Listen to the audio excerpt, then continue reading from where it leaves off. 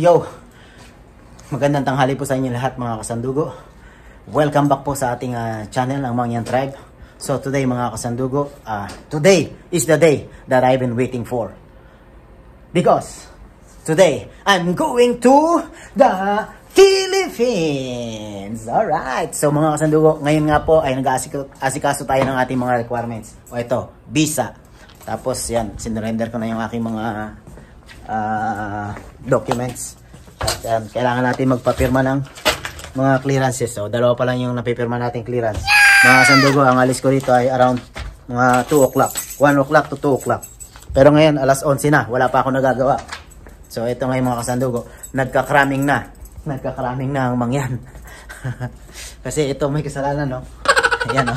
Yung tao yan ang may kasalanan. so, let's go. Papirma muna tayo ng clearance natin.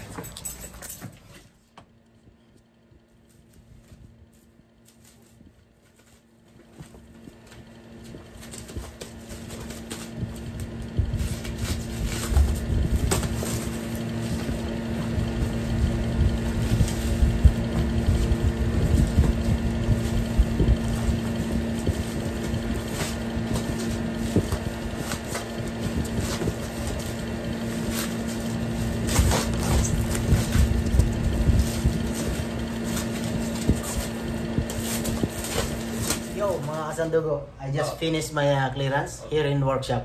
So, thank you so much for the supervisor. He got me clean. Ay, thank you, thank you. Shukran. Now I'm going to Philippines! Ayun ah. No, after. So, ayun nga mga kasandugo. Ah, nakapagpa-clearance na tayo. Ayan. So, kung makikita nyo, oh, dalawa na lang po ang kulang natin para tayo ay ah, ma-release na ng tuluyan dito at makapag bakasyon na tayo. Anyway, nasa akin naman po ng ticket. Nasa akin na rin yung visa. Ah, kompleto na. So, pero kailangan pa rin natin magpa-clear para talagang wala tayong problema. Pag bumalik tayo, wala tayong anumang ah, issue. So, manager na lang po ang kulang at saka yung ah, finance. So, tatapusin na natin yan at ah, ang oras po ay alauna 20 na. So, alas 2 darating na yung taxi na magsusundo sa akin.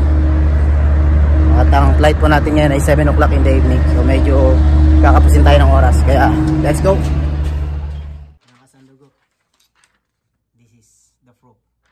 Talas that already clear. So, now, I am ready to go. See you, Philippines! In just few hours, I will be there. Happy journey. Alright. So ito mga kasandugo, subaybayan nyo ang ating journey. Tuloy-tuloy lang po tayo at hindi tayo bibitaw. Papakita ko sa inyo ang ating journey from Saudi Arabia to Philippines with love. What's up mga kasandugo? Ito narito na po tayo sa ah, taxi. Ayan. So po, ito po yung ating ah, taxi na meron na siyang maghatid sa atin sa airport. So before po tayo ah, pumunta ng airport, meron po tayong ah, dadaanan na isang ah, kaibigan ng kaibigan ko. Ah, ano po siya, ah, na stroke at ah, na-paralyze po yung kanyang ah, ah, katawan. So hindi na po siya makalakad. Pero nakakapagsalita pa naman. So ang problema lang po hindi na po siya makalakad. Kaya ah, hindi na po siya makapagtrabaho. So yun, uuwi na lang po ng Pilipinas. So, since yung invite namin sa church, si Nilo, Nilo Garcia, ay ah, napagalaman niya na ako ngayon ay magbabakasyon itong June 5. So, pinakisuyo niya sa akin kung pwedeng samahan ko yung uh, uh, karumit niya na uwi ng Pilipinas na na-stroke nga. So, ayun, ah, hindi naman tayo nagdalawang ah, isip na tulungan yung ating kapwa Pilipino rito na nangangailangan ng tulong dito sa Saudi Arabia.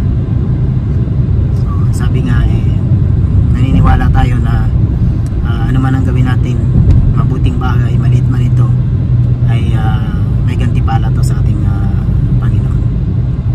So, ah, so yun lang. Ah, dadaanan natin yun, then uh, diretso na tayo sa airport. So, see you later. Standby lang at uh, tutok lang po tayo.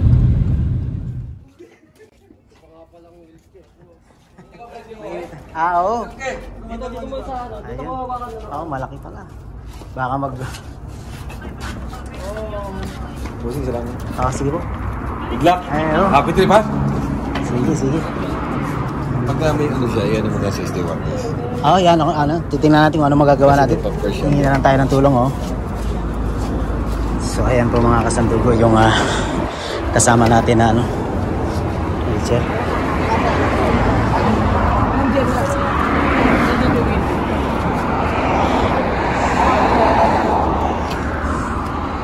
So, ito po yung mga mga kapatid nating mga Pilipino na siyang ah, tumutulong sa kanya rito.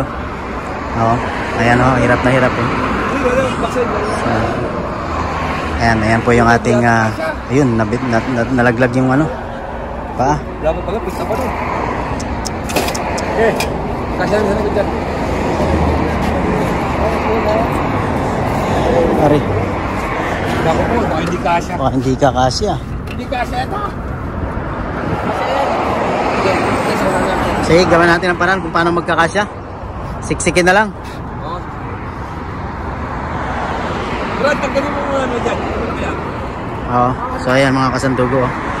Medyo pinagtutulong-tulungan na at ah, marami palang gamit. Baka mag-over baggage ako nito. Oo.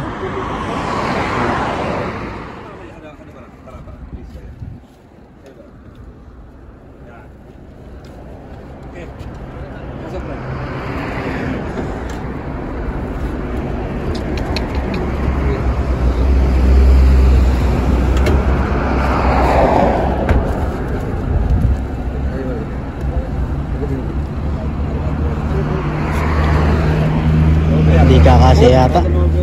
Ha? Sabi mo sila, Brad. Una lang to. Ha? Dito. Kasya na yan. Oh, balik mo. Ah, tara. Tara. Umi, ekme, ekme, ekme, ekme. Okay, kando.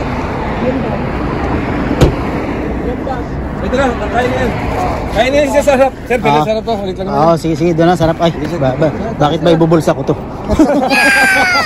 Salamat. Oo. Sige, kasama namin. Sige, oo. Sige na, adi. O, sige, let's go. At wala na tayong oras.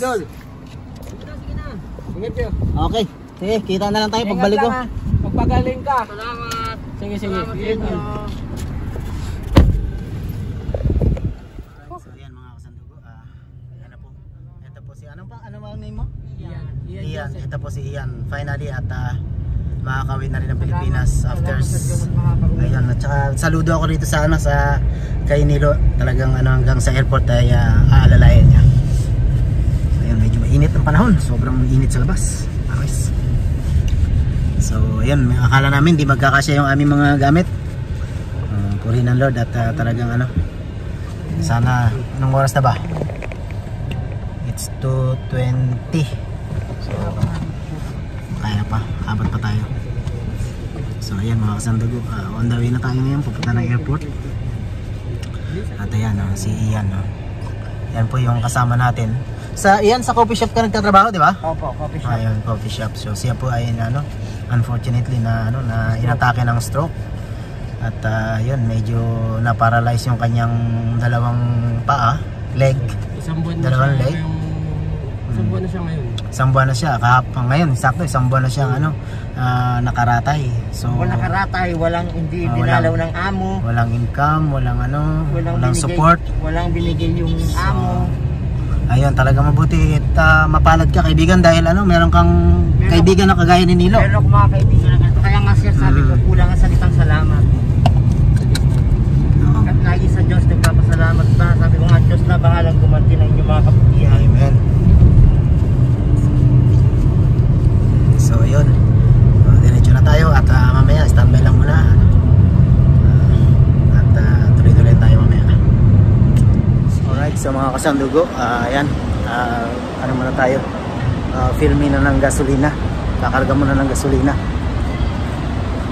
So, tayo naman eh, bili muna tayo ng ating may inom. Ating drinks.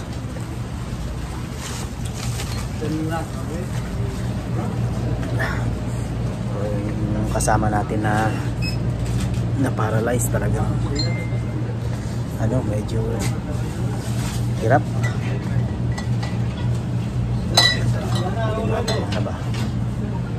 music, music. Mousy flavor strawberry. Okay, so.